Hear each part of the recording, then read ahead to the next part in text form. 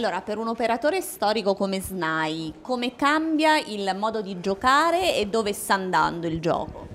Allora, intanto per un operatore storico come SNAI la sfida più importante è quella di eh, superarsi sempre rispetto alla notorietà che la marca ha nei giocatori. Quindi la sfida più importante per noi è stata quella di eh, far diventare digitale un'azienda che aveva una fortissima connotazione, una fortissima trazione retail, senza però snaturare questo, eh, questa caratteristica retail che è il driver principale del nostro business. Quindi noi stiamo andando nella direzione del cross-sell, cioè dell'omnicanalità, eh, stiamo lavorando a soluzioni digitali che possano migliorare l'esperienza di gioco anche nel punto vendita e stiamo cercando di costruire sempre più un ponte eh, bidirezionale tra il punto vendita e il gioco online e crediamo che queste siano le sfide eh, dei prossimi due anni. In questo mettiamo anche i nuovi prodotti dove come detto oggi qui alla Social Media Week siamo ehm, pionieri in taluni casi con gli sports che abbiamo lanciato per primi in Italia e con i fantasy game dove non siamo stati primi ma abbiamo eh, sicuramente un ruolo eh, primario eh, perché offriamo un prodotto estremamente semplice e competitivo in termini di performance. Ecco, quando si parla di nuovi prodotti come i Daily Fantasy Sport, si parla anche diciamo, di comunità, di community, di network. Ecco, il tema della liquidità internazionale in questo senso rappresenta ancora una barriera.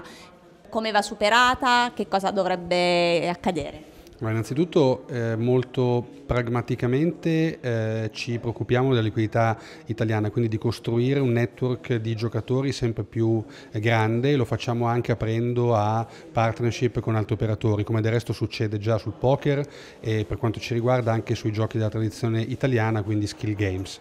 Sicuramente per quanto riguarda il poker, i fantasy sport e diciamo, l'exchange per, per, quanto non sia un mercato di nostro eh, interesse, è inevitabile eh, parlare di liquidità internazionale. Sappiamo che esiste un tavolo normativo eh, su questo tema a livello comunitario e riteniamo che sia arrivato il momento di parlarne serenamente tra eh, paesi che condividono le stesse logiche, eh, per esempio di compliance, di antiriciclaggio e provare ad immaginare uno scenario nuovo, magari a 3, 4, 5 paesi, perché questo a mio avviso è l'unico modo per tenere eh, in vita o comunque tenere a livelli eh, di sostenibilità economica prodotti come il poker che oggi soffrono un po' l'età e anche il passaggio eh, di una moda. Ecco, il settore delle scommesse sportive si appresta ad una rivoluzione, c'è un nuovo bando di gara in corso, eccetera. Sarà ancora un settore trainante a suo avviso? Ha bisogno di essere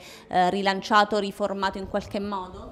Ma, eh, diciamo, le scommesse sportive in Italia sono a maturità completa, io credo che saranno ancora eh, l'attrazione del mercato, non in, in, termini di valori assoluti perché sappiamo che parecchi da intrattenimento in Italia eh, dominano il mercato, ma quantomeno in termini di attrattiva, eh, di contenuti e anche di comunicazione, perché eh, le scommesse sportive creano contenuto in maniera spontanea. Eh, io credo che il nuovo bando potrà, eh, se gestito nella maniera eh, diciamo, corretta e eh, intelligente, potrà rivitalizzare ulteriormente il mercato, aprire a nuovi operatori, permettere agli operatori eh, già presenti sul mercato di rinforzarsi e di eh, colmare alcuni gap eh, nei confronti della eh, concorrenza, in taluni casi ancora eh, sleale che il mercato eh, illegale esercita e quindi siamo assolutamente fiduciosi, il gruppo SNAI affronta